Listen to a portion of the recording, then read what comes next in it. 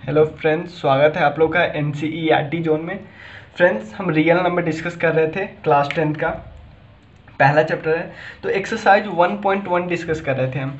इसका पहला question already discuss कर चुके हैं। तो इसका सेकंड क्वेश्चन करने वाले हैं। सेकंड क्वेश्चन क्या है? So that any positive odd integer is in form is of the form इस फॉर्म में हो। मतलब कोई नंबर हो, कौन सा नंबर पॉजिटिव हो ऑड इंटीजर यानी सबसे पहले ये समझने से पहले हम तीन चीज़ समझना पड़ता है।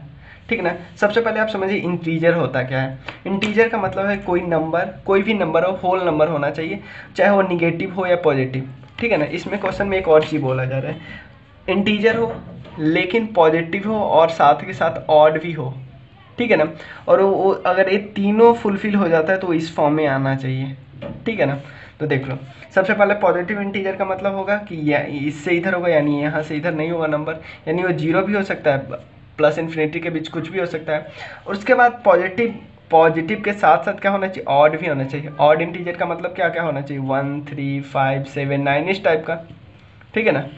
ऑड का एक फॉर्म होता है, वो उसका मतलब आपको पता है, कोई नंबर ऑड कब बोला जाता है? जब उस नंबर को दो से डिवाइड करते हैं तो रिमाइंडर वन आता है। जैसे यहाँ पे फाइव को टू से डिवाइड करने पर रिमाइंडर वन आया ना तो यानी फाइव को टू से डिवाइड यानी और जिस नंबर को दो से डिवाइड करते हैं तो रिमाइंडर अगर वन आता है तो उसको हम ऑड नंबर बोलते हैं। यानी आप मुझे बताओ, कोई भी नंबर जो जैसे आपको फिफ्टीन एक नंबर है, उसका कुछ इस तरह से लिख सकते हो two into seven plus one या कोई नंबर है थर्टी सेवन को लिख सकते हो two into eighteen plus one यानी जो नंबर इस फॉर्म में आ जाए two n two n plus one या कुछ भी टू टी प्लस वन यानी जिसके लास्ट में प्लस वन हो जाए और जो बचा हुआ नंबर है वो दो से डिविजल हो जाए तो उसको आप बोल सकते हो ये नंबर है ऑड नंबर इतना तो समझ गए ना?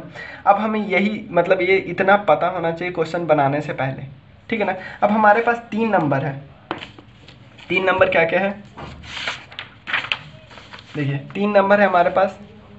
एक सिक्स क्यू प्लस वन एक six q plus three six q plus five ठीक है ना? अब यूक्लिड्स जो एल्गोरिथम था, उसमें आपको पता होना चाहिए, सबसे पहले कोई नंबर होता था ए तो उसको किस फॉर्म में हम लिख सकते थे? उसको लिखते थे बी क्यू प्लस आर तो ये कोई नंबर ही तो है। ए भी तो नंबर है ए भी नंबर है ए भी एक ए है ए भी एक ए है ए भी एक ए है। ठीक है ना? तो इसको बी क्यू आर तो यानी बी यहाँ पे क्या है? सिक्स ठीक है ना? आर हमने देखा था आर का वैल्यू कहाँ से कहाँ तक होता है ज़ीरो का बराबर होता था, लेकिन बी से छोटा ही होता था हमेशा हमें पता है ना? तो यानी कि बी का वैल्यू यहाँ पे बी का वैल्यू कितना है? सिक्स है। तो यानी आर का वैल्यू क्या क्या होगा? If b equals to six तो आर का वैल्यू होगा zero one two three four five six नहीं होगा, क्योंकि सिक्स से छोटा होना चाहिए। ठीक है ना? तो अब हम तीनों नंबर को लिखते हैं, क्योंकि हमें इसे प्रूफ क्या करना है? प्रूफ करना है कि ऑड पॉजिटिव इंटीजर होना चाहिए। ऑड पॉजिटिव इंटीजर पॉजिटिव का मतलब क्या होना चाहिए? कि एक से ज़्यादा होना चाहिए ज़ीरो से ज़्यादा होना चाहिए, और ऑड का मतलब होता है one three five seven nine होना चाहिए। इंटीजर तो आपको पता ही है। ठीक है ना? तो अब तीनों को हम इस फॉर्म में लिखते हैं। सिक्स क्यू प्लस वन क्या इसको आप टू एन प्लस वन के फॉर्म में लिख सकते हो? ट्राई कर सकते हो लिखना। तो ट्राई करते हैं कि लास्ट में वन तो है ही ऑलरेडी तो हम सिक्स क्यू को क्या टू एन के फॉर्म में लिख सकते हैं? हाँ लिख सकते हैं। टू इंटू थ्री क्यू आप कर दो। प्लस वन थ्री के को हम ऐसे लोग लिख सकते हैं two into k one plus one यानी टू एन प्लस वन के फॉर्म में आ गया। तो यानी ये वाला ऑड नंबर है। ऑड है पॉजिटिव इंटीजर है जहाँ पे क्यू कोई भी नंबर हो सकता है। जैसे के वन कोई भी इंटीजर हो सकता है। लेकिन यहाँ पे हमें प्रूफ करना है कि पॉजिटिव इंटीजर हो ये टोटल होल नंबर तो के को हमें क्या लेना पड़ेगा? ज़ीरो से ज़्यादा ही लेना पड़ेगा। नहीं तो अगर निगेटिव ले लेंगे तो, तो टोटल निगेटिव हो जाएगा लेकिन हमें निगेटिव आना नहीं चाहिए। यानी के का वैल्यू कितना आना चाहिए? ज़ीरो से के का वैल्यू के एक इंटीजर है और के वन का value greater than equal to zero आना चाहिए। सेकेंड वाला सिक्स क्यू प्लस थ्री है। क्या आप इसको भी two n plus one form में लिख सकते हो? हाँ लिख सकते हैं। देखो, सबसे पहले हम इसको six q plus two plus one लिख सकते हैं। आप इसको आप ब्रेक इसको आप क्या करना है? टू एन फॉर्म में लाना है। तो सिक्स क्यू प्लस वन को क्या लिख सकते हो? टू कॉमन ले लो, ले सकते हो आप। तो three q plus one plus one ठीक है?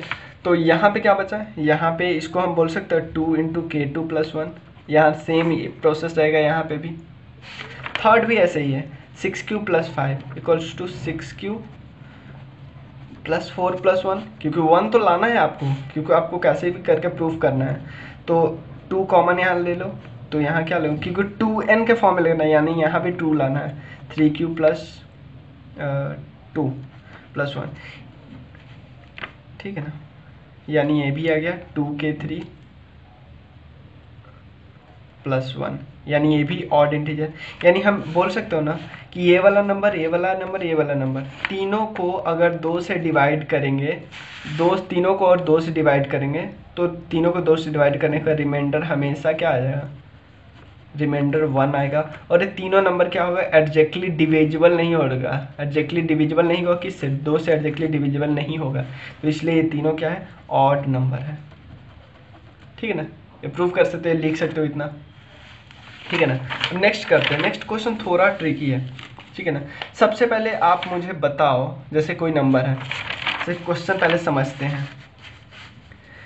An army contingent of six sixteen to march behind an army band of thirty two member in a parade the two group are on the march in the same number of column what is the maximum number of column in which they can march आपको बताना है, सबसे पहले क्या है? दो group है। एक ग्रुप में कितने लोग हैं? थर्टी टू दूसरे ग्रुप उसके जस्ट बिहाइंड में है, वहाँ पे छः से सोलह लोग हैं। छः सोलह। आपको देखो सबसे पहले यहाँ पे यूक्लिड थ्योरम अगर आपको पता था कि हाँ लगाना है, तब तो लगा सकते थे।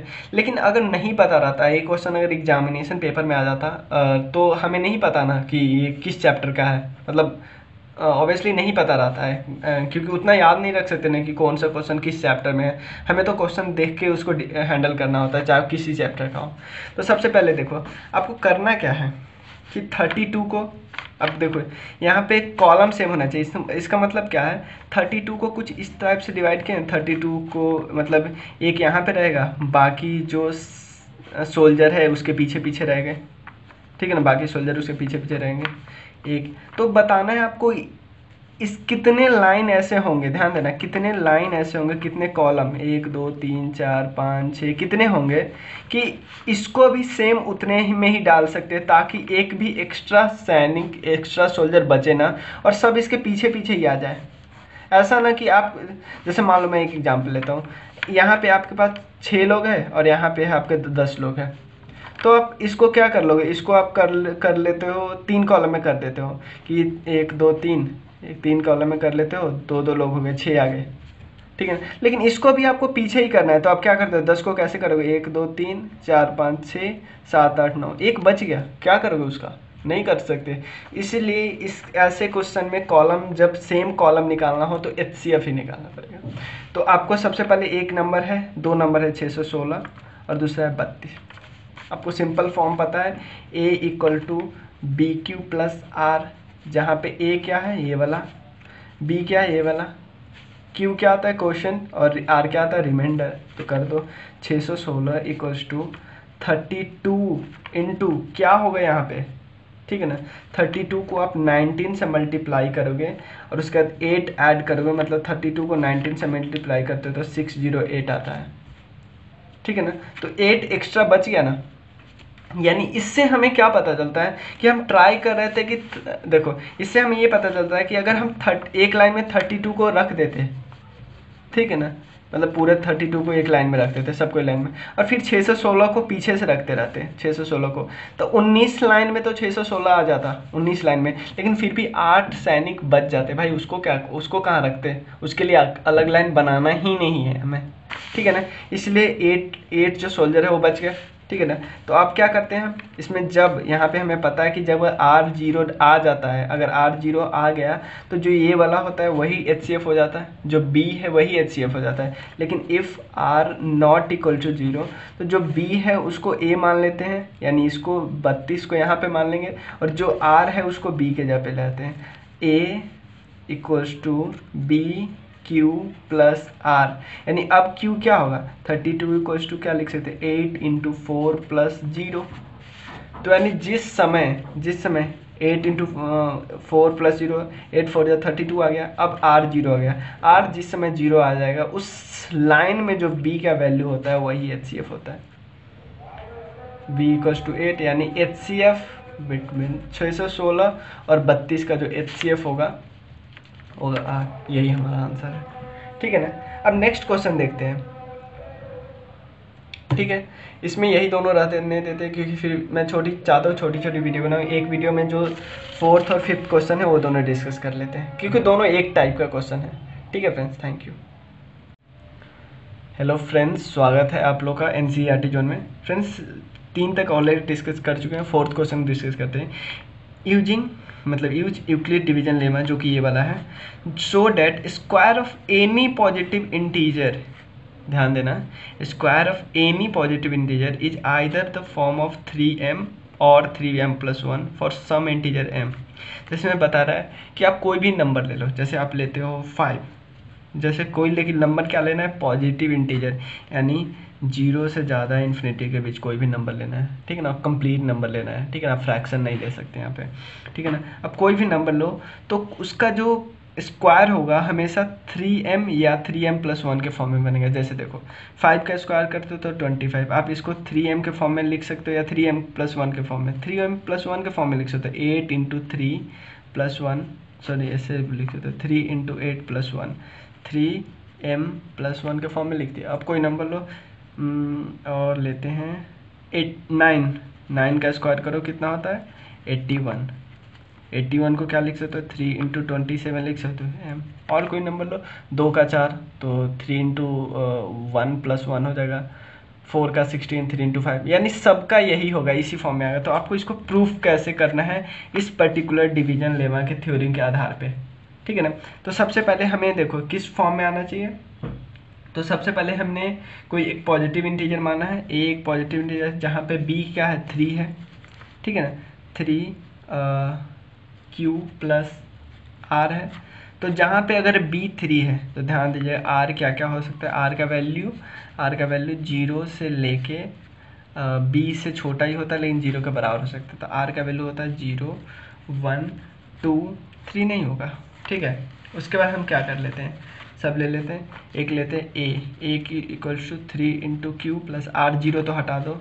फिर एक और नंबर लेते हैं कौन सा? Three q plus one third क्या नंबर लेते हैं? थ्री क्यू प्लस टू हमने अपने मन से कोई नंबर ले लिया। ठीक है ना? फिर हम इसके स्क्वायर करने का ट्राई करते हैं। इसका स्क्वायर करते हैं। ए स्क्वायर इसको, इसका करें।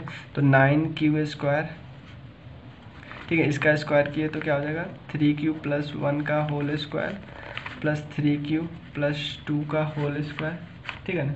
इसको करेंगे तो नाइन क्यू स्क्वायर को हम कैसे लिख सकते हैं? Three into three q square लिख सकते हैं। ये आ गया ना उस फॉर्म में, जो आप चाहते थे थ्री इंटू एम के फॉर्म में। ठीक है ना? और इसको कैसे लिख सकते हो? इसका स्क्वायर कर दो। Nine q square plus plus one plus six q इसको भी लिख सकते हो आप nine q square sorry nine q square plus four plus बारह क्यू। ठीक है तो इसको लिख दिया three into three q square यानी थ्री के इस फॉर्म में जैसे थ्री के वन हम लिखते थे और आ, देखो और इसको क्या लिख सकते हो? थ्री यहाँ से कॉमन लिए तो यहाँ बचा क्या? Three q square plus six q में से थ्री कॉमन लिए तो टू क्यू बचा और वन को बाहर कर दिए क्योंकि यहाँ कॉमन लेने के लिए कुछ बचा ही नहीं है। ठीक है ना? इसको भी सेम है इसी तरह। जैसे यहाँ को, इसको हम ऐसे लिख सकते हैं, इसको थोड़ा एक और लाइन बढ़ा देते इसको हम ऐसे लिख सकते थे। Nine q square plus twelve q twelve q plus three sorry nine q square plus one तो यहाँ से हम आप क्या कर सकते हैं? थ्री कॉमन ले सकते हैं। थ्री कॉमन लेंगे तो यहाँ क्या बचेगा three q square plus four q plus one और बाहर प्लस वन ये बचा ना? तो क्या ये भी उस फॉर्म में आ जाएगा? Three three q square plus four q plus one plus one यानी ये भी, जैसे ये भी आ गया थ्री के वन एक इस फॉर्म में आया three k two plus one के फॉर्म में three k three plus one के फॉर्म में।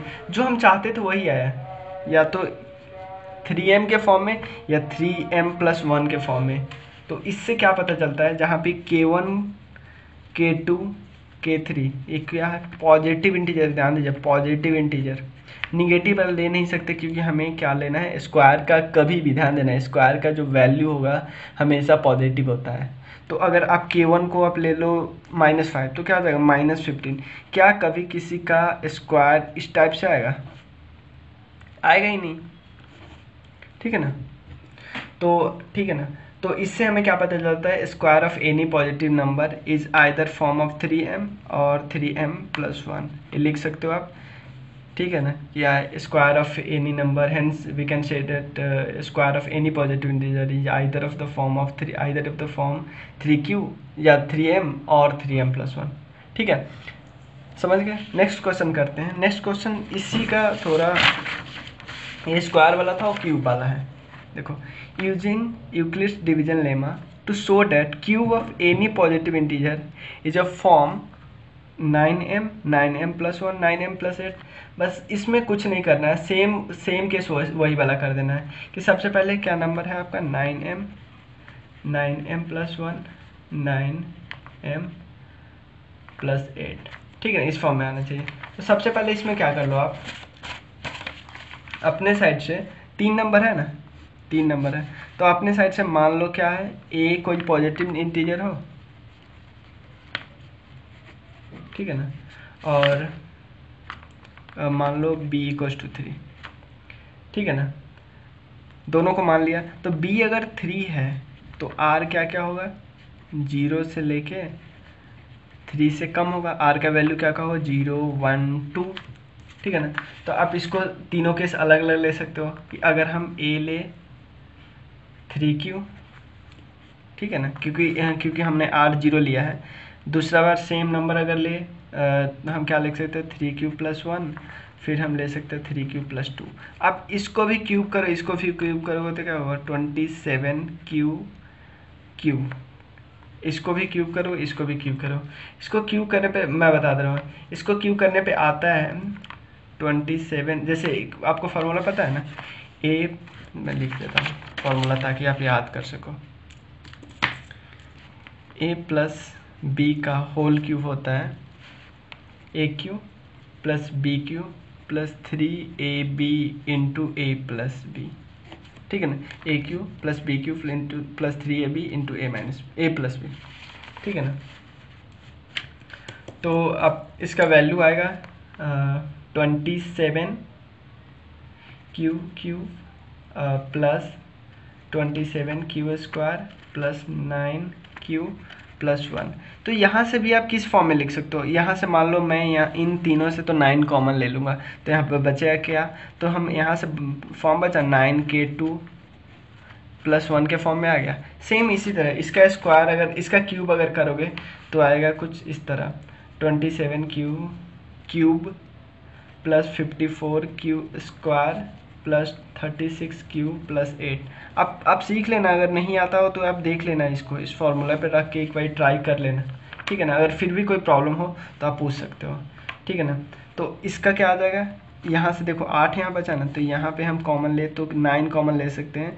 तो nine into k three plus eight यानी हम यही तो सोचते थे। किस फॉर्म में? या तो नाइन एम के फॉर्म में आए, या नाइन एम प्लस वन के फॉर्म में आए, या नाइन एम प्लस एट के फॉर्म में आए। अब क्वेश्चन उठता है कि मैं ये तो निकाल दिया कि हाँ चलो कोई नंबर का क्यूब करते हो तो इस फॉर्म में आता है। तो क्वेश्चन उठता है कि सर आपने बी को थ्री क्यों चुन लिया? ठीक है ना? होता है ना? बी को इसलिए मैंने चुन लिया बी को मैं टू भी चुन सकता था। लेकिन उससे क्या आता सिर्फ़ ए वाला और ए वाला आता। फिर हमारे ये प्रूफ ही नहीं हो पाता ना। इसलिए हमने ऐसे ट्राई किया कि एटलीस्ट तीन बार, तीन तो लू ही लू, जिससे हमारा तीनों एटलीस्ट प्रूफ हो जाए। ठीक है ना? तो हमारा तीनों प्रूफ हो गया। जैसे पिछले क्वेश्चन में हम दो भी लेते तो भी काम चल जाता। है बी कोस टू टू भी लेते तो भी काम चला जाता। है ठीक है ना? लेकिन हम फिर भी बी कोस टू थ्री लिए थे। क्योंकि हम ट्राई करना चाहते कि कहीं गलत तो नहीं हो रहा है। ठीक है ना? तो इसको तीन बार लेने का यही कारण है कि मैं ट्राई कर रहा था कि तीनों आ जाए। ठीक है फ्रेंड्स तो थैंक यू फ्रेंड्स और अगर कोई डाउट भी हो, कोई डाउट हो तो आप please N C R T zone के नाम के फेसबुक पेज भी है और इंस्टाग्राम पेज भी है। तो आप इन दोनों पे मैसेज कर सकते हो डायरेक्टली ठीक है ना? और मैं ट्राई करूँगा कि जल्दी से जल्दी जवाब देने का। ठीक है ना? और अच्छे से अच्छे जवाब देने का। ठीक है friends thank you thank you so much